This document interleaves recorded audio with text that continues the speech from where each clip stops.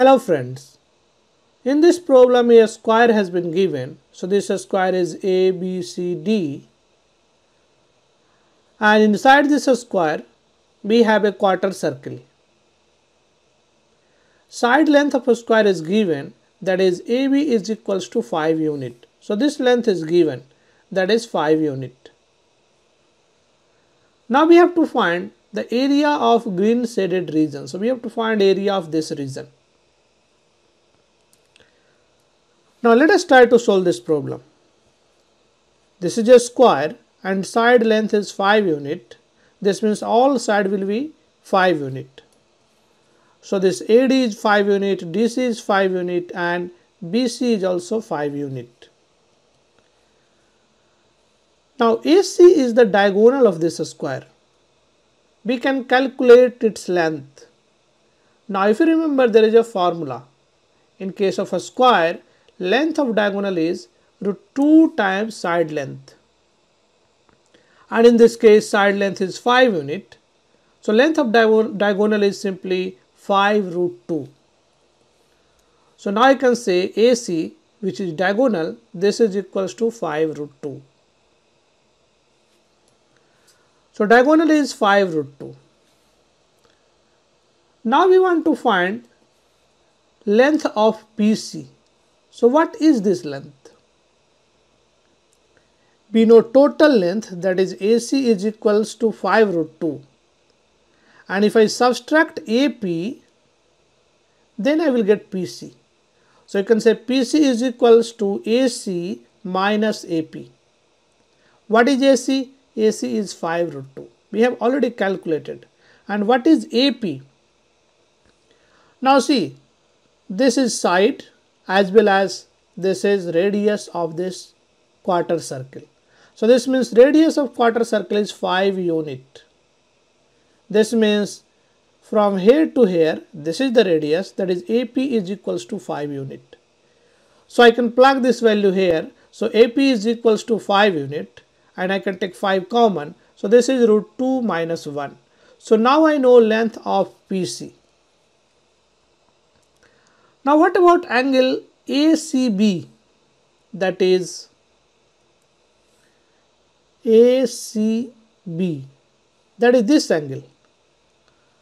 Now if you remember diagonal also bisects the angle and in a, in a square this angle is 90 degree and this is the bisector of angle. So this angle will be 45 degree. So now I know angle ACB this angle is 45 degree because diagonal is going to bisect this angle. So this angle is 45 degree. What about this angle that is angle CPN this will also be 45 degree because this angle is 90 degree. This is given in the problem that MN is parallel to AB and this is parallel and this is 90 degree this means this angle is 90 degree. So if this is 90 this is 45 this has to be 45 because sum of the angles in a triangle is 180 degree. So now, you, uh, now I know that angle CPN this is equals to 45 degree. So this angle is 45 degree. Now if you see this angle is 45 and this angle is also 45. This means triangle CPN is an isosceles triangle. So this means side PN is equals to side NC. So we can write PN is equals to NC because triangle PCN is a is an isosceles triangle. Now let us do some construction.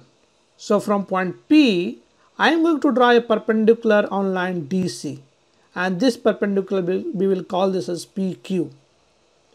So this is PQ that is perpendicular on line DC. Now this angle is 90, this angle is 90, this angle is also 90 because this is a square, this angle has to be 90.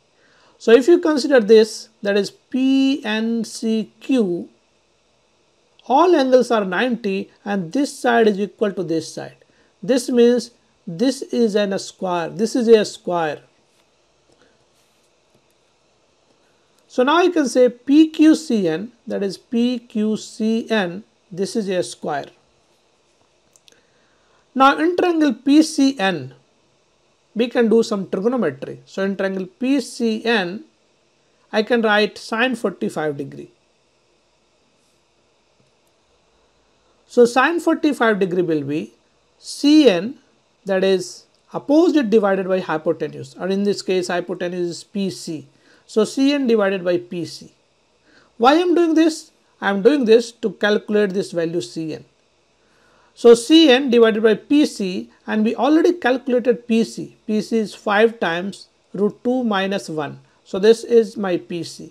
So if I cross multiply, I can get the value of Cn. So Cn will be sine 45 times this. Sine 45 times 5 times square root 2 minus 1. Now sine 45 is 1 by root 2. So Cn is equals to 5 times square root 2 minus 1 divided by root 2. I can multiply by root 2 in the numerator and in the denominator. So this becomes 2 and this becomes 5 times 2 minus root 2. So I know Cn that is this, this length and Cn is also equal to Pn because this is a square. So this is also equals to Pn. So now I can calculate area of this triangle. So area of this triangle will be half times base times height because this is a right angle triangle. So area of triangle PCN is equals to half times base, base is PN that is this one that is the same thing times CN height, height is same again. So this is 2 into 2 into 2 that is 1 by 8. So this will be in the denominator will have 8 and this is 5 into 5 25 and this is 2 minus root 2 times 2 minus root 2. So this is nothing but 2 minus root 2 whole square. So this is a square that is 4 plus b square that is 2 minus 2ab that is 2 into 2 4 root 2. So this is 25 by 8 and this is 4 plus 2 6 minus 4 root 2. So now I know area of this triangle. We can also calculate area of this part because this is a part of a circle. This is one fourth of circle. This is one fourth of circle and this is one eighth of circle. So I can calculate this area. We already calculated this area and we can calculate this triangle area that is ABC. So I can calculate the region of a green region, area of green region. So that is area of this region that is BPN that is green region this is nothing but area of triangle that is ABC minus area of this sector that is ABP or APB minus area of this triangle that is triangle PNC or PCN. Now we know all these things. Triangle area that is half into base into height. This length is 5 so base is 5, height is 5, so half into 5 into 5 and this is a right angle triangle. Area of sector that is pi r square by 8 because this is 8th portion and r is 5 so pi times 5 square divided by 8 and area of PCN we already calculated that is this value 25 times 6 minus 4 root 2 divided by 8. Now if I simplify this is nothing but 5 into 5 25 by 2 and this is 25 pi by 8 this is 25 by 8 with a negative sign and this is 25 into 6 that is 150 divided by 8 with a negative sign and this negative this negative becomes positive and 25 into 4 that is 100 and times root 2 divided by 8. I can further simplify so this becomes if I cancel with 4 so this will be 25 and this will be 2 so this is 25 by 2 root 2 and then this is minus 25 pi by 8 and if you combine these two terms that is this term and this term this is simply minus 50 by 8 and if you cancel out 2 here these two things are same so this will be 25 by 4 so this is the area of green shaded region. So i hope you enjoyed this problem and if you like these problems, please share with your friends, like this video and subscribe to my channel. I will see you in the next video. Thank you.